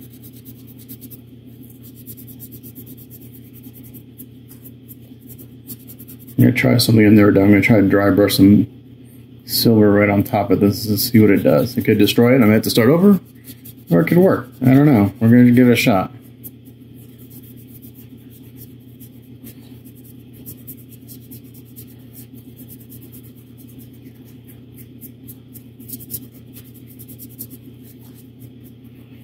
Okay, let's put that. I'm gonna close this up because it gets everywhere. I want to get some of this Vallejo. Um, it's white. Uh, silver. The liquid metal silver.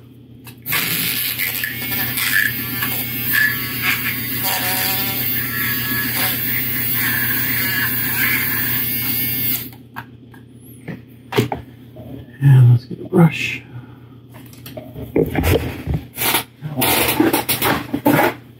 Yes, this is Vallejo, Vallejo liquid metal silver. Liquid silver. Yeah, we're gonna dry brush some of this out and see what it does to, the, to these helmets right here.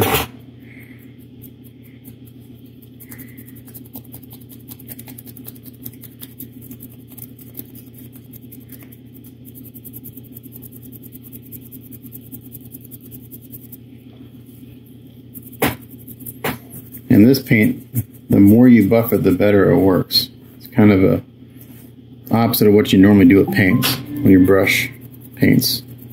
Typically, you don't want to overwork your paint. But these Vallejo liquid metals, the more you work it, the better it looks. It's kind of weird.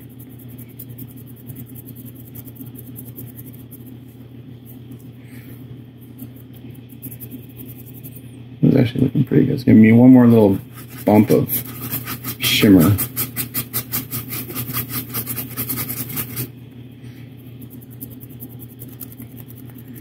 Yeah, a little heavy there.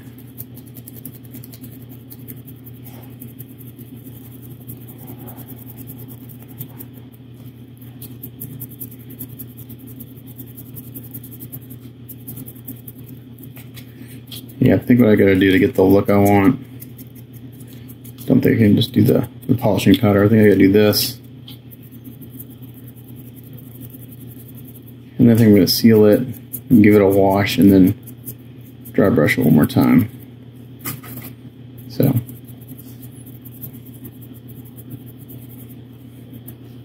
I think the other helmet looks fine. This one looks good over here.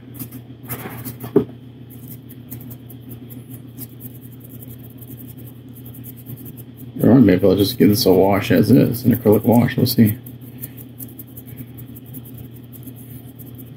Let's see what happens.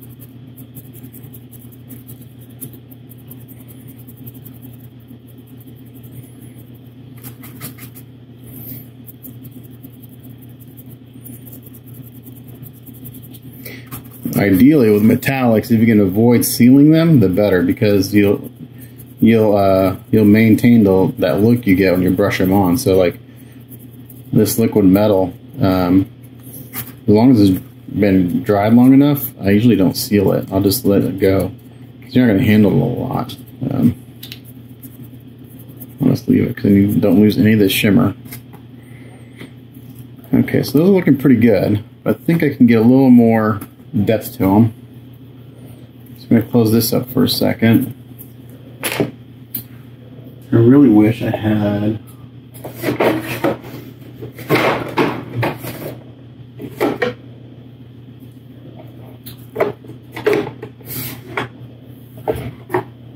Here's what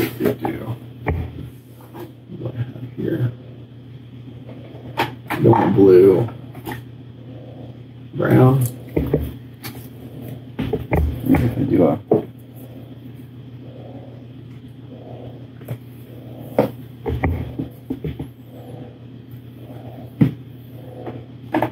black wash. So I'm mixing up some ghost tints, brown, black, and water.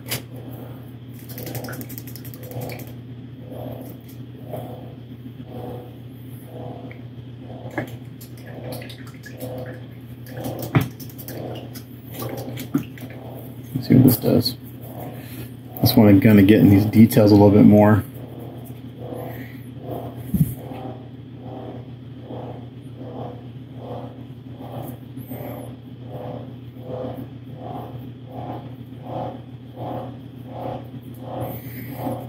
Bring them out. Let's do a wash over this.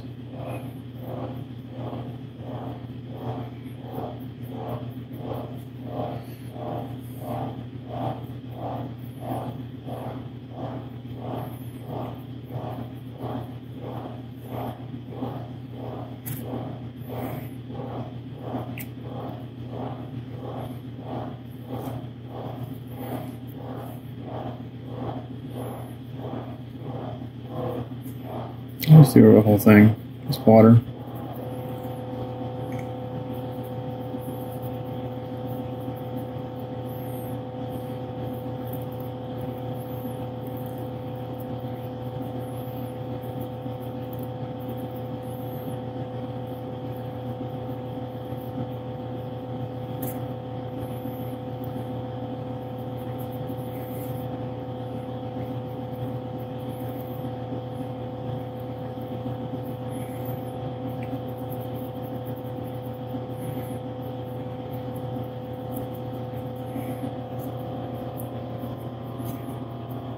This dries and we dry brush this again, we'll have a really nice look.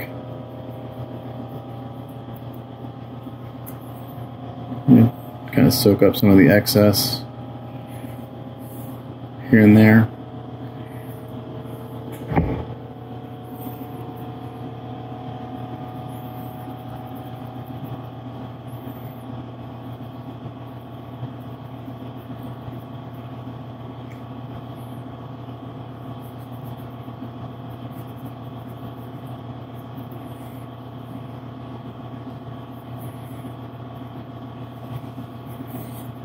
So I'm just doing kind of wet on wet. I haven't sealed this at all yet. And if I can avoid sealing it, I will. just so I can keep the nice shimmery metallic look without dulling it. Metallics tend to dull down and you lose that the metal look after you seal them. So if you can avoid it, that's ideal.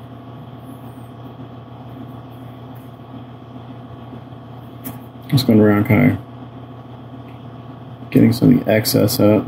I do want to make sure I have an even kind of coat of this wash on everything.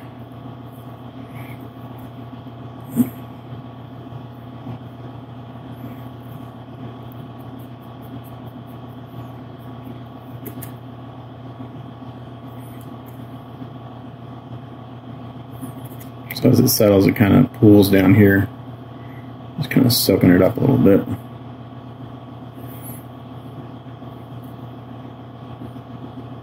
Dab it off with my paper towel and use my brush to get whatever pulls up a little bit. Okay, that's looking pretty good.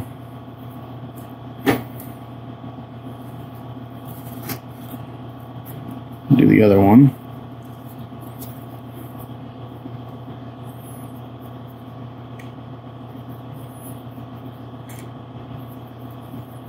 I'm just kind of slopping around there, not being real careful.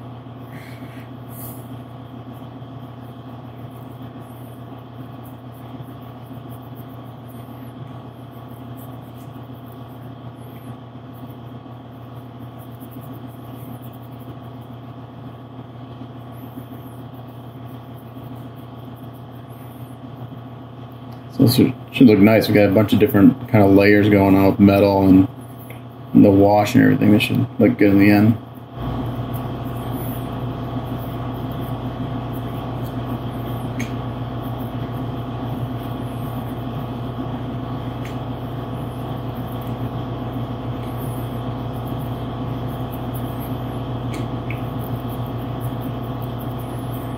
This dries pretty quick. This is mostly water, not much uh, taint tint in here.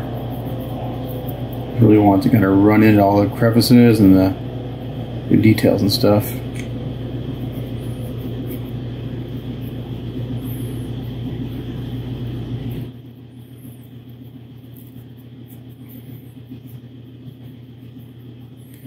Okay.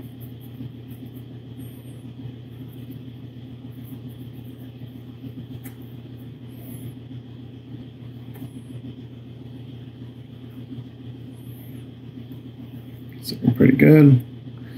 Again, just kind of soak up any excess.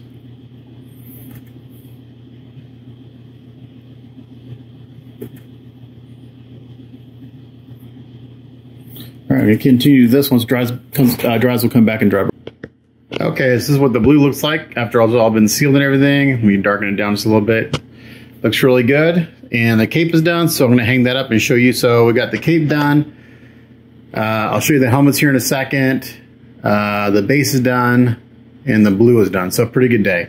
So I'll be right back. Okay, here's the cape. Let me darken it down a little bit. Looks really good. Nice shading. So that's looking good. And then we have the helmets down here. So we got the classic helmet. Oops. It's got that little kind of polished metal look. And we got this guy here. After we did the weathering or the washes and everything and dry brushing, it looks really good. So that's it for this work in progress. Um, so next will be, we'll probably, I'll work on base cutting the skin tones and I'll work on the rest of his suit. So stay tuned for work in progress number two. And thanks for watching. Catch you guys next time.